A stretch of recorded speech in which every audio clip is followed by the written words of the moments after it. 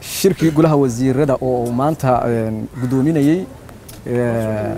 ra'iisul wasaaraha xukuumadda soomaaliya mudane xasan cali khayre ayaa ugu horreyn waxaa laga dhegaystay warbixintii uu maaragtay warbixin ku saabsan warbixintii shirkii oo new york. Warbixintaasoo aad warbixin u faahfaahsan ahayd oo maaragtay dhinacyo badan taabanaysay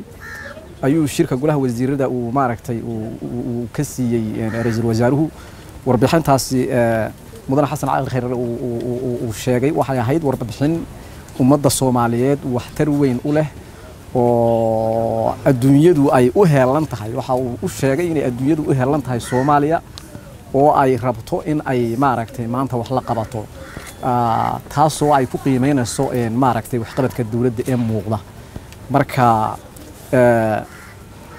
shirku waxyaabo badan iyo dhinacyo badan buu taabanayay arrintaas oo arrin aad iyo aad muhiim u ahayd oo ummadda soomaaliyeedna ay aad iyo aad ugu diirsan doonto. Waxaa kale oo oo maaragtay warbixin laga dhegaystay wasiirka amniga oo isaguna faahfaahiyey arrimaha amniga oo maaragtay sheegay maaragtay in maaragtay amnigu uu maalinba maalinta ka dambeysa uu magaalada muqdisho ka sii wanaagsanaanayo waxaa laga dhegaystay maxaa ku guddida qaran ee isku dhafka difaaca ee maaragtay ciidamada qalabka sida ayaa waxaa isagana maaragtay ka hadlay mudane maxamed cali xagaa oo ah wasiiru dowlaha wasaaradda gaashaandhigga oo isaguna aad iyo aad ugu dheeraaday oo ka hadlay isku dhafka ciidamada soomaaliyeed iyo faa'iidada ugu jirta ummadda soomaaliyeed iyo muhiimadda ay u leedahay. Waxaa kale oo maaragtay laga hadlay ama ama warbixin laga dhegaystay guddiga siyaasadda iyo cadaaladda mudane cabdiraxmaan xoos jibriil isaga laftigiisa waa laga warays waxaa laga waraystay maxaan ku dhahday warbixinta heshiiska geedi socodka.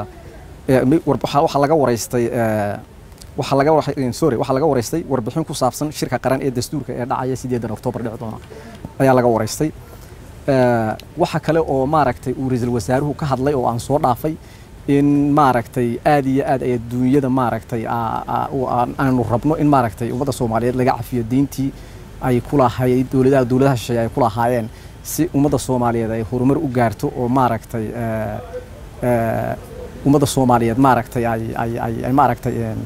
gacmaha loo qabto oo sare maaragtay loogu soo qaado maaragtay hamigooda ah inay maaragtay ay isku tashadaan waxaa kale oo warbixin laga dhegaystay wasiirka maaliyadda oo isaguna faahfaahin dheer ka bixiyey sida ay muhiimad gaara ugu leedahay ummadda soomaaliyeed in maaragtay ay imt iyada laftigeeda i m f tu ay maaragtay ay inaga dhaafto deynta taasoo noqon doonto faa'iidada ugu weyn ama maaragtay horumarka ugu ballaaran ee ummadda soomaaliyeed ay gaari karto haddii laga dhaafo deyntaas